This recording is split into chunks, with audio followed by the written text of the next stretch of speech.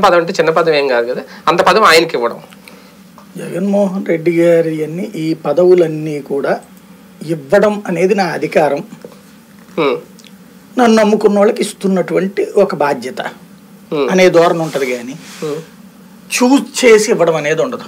అంటే ఒక పదవి ఇప్పుడు నాకు ఒక పదవి ఇస్తే ఇప్పుడు నేను ఎలా అంటున్నో ఏంటో నా బ్యాక్గ్రౌండ్ ఏంటి ఇంకా ఇదేం చెక్ చేయ అంటే ఆ పదవికి నేను అర్హున్నో కాదో ఏం తెలియకుండా తెచ్చి చేతులు పెట్టేస్తారా? అట్లయితే ఇప్పుడు మంత్రిత్వ శాఖలు ఎవరు పనికిరారు.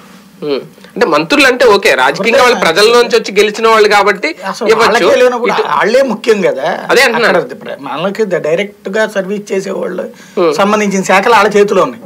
వాళ్ళనే అట్టా పట్టించుకున్నప్పుడు అసలు ఈ కార్పొరేషన్ పదవులు ఈ నామినేటెడ్ పదవుల్లో వీళ్ళేం బీగుతారు Nominated అక్కడ? పదవులు. కరెక్ట్గా పచ్చి భాషలో చెప్పాలంటే వీళ్ళు వీగేది ఏం లేదు. స్టిక్కర్ ఎతికించుకుని తిరగడం. ఏదో ఒక ఒక వెహికల్ ఒక హడావుడి హడావుడి అయితే ఉంటది ఏం లేదు. వాళ్ళు ఇంకేం చేస్తారు సర్వీస్ వాళ్ళు? ఇంకొకటి ఇతనికి సంబంధించి నాకు తెలిసి వేరే వర్క్ చేయగలిగే ఇది కూడా లేదు. అంటే నా నేను అనుకోవడం ఏంటంటే జగన్ ఒకటి సినిమా వాళ్ళని ఏం పెద్దగా ఎంటర్టైన్ చేయడు ఎంకరేజ్ చేయడు. అంటే సినిమా వాళ్ళు అని ప్రత్యేకంగా గౌరవం ఇచ్చి దగ్గర కూర్చోబెట్టుకుని గంటల కొద్ది ఉపన్యాసాలు చెప్పడము. లేకపోతే నన్ను పొగడండి అంటాము. అట్లాంటి క్యారెక్టర్ తనకి లేదు. తన యాటిట్యూడ్కి విరుద్ధం. తనకి తనే హీరో. అంతే. మిగతా సినిమా యాక్టర్ల కంటే తనే హీరో అనేది తన ఫీలింగ్. మంచిగా చెడో ఫ్యూచర్ డిసైడ్. అట్లా అనుకునే గెలిచాడు కదా.